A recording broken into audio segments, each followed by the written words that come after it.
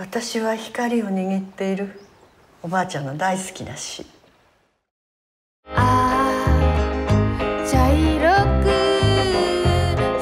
れからここでお世話になるものえ？いたんですか隠し子。古い知り合いの娘だよ。どうなさいましたか？何でもさせてもらえるとか思わないでくださいみおちゃんはさ話せないんじゃなくて話さないんだよ。そうすることで自分を守ってるんだよ。餃子最高ですご飯行こ ちゃんと生きてますか？犯罪ですよ。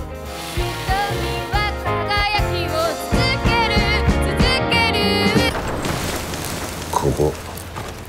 なくなるんだよ。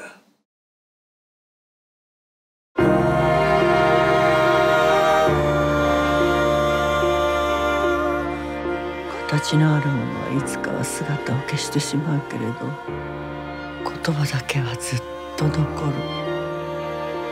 しゃんとしなさい。最後までやりきりましょう。どう終わるかって多分大事だから。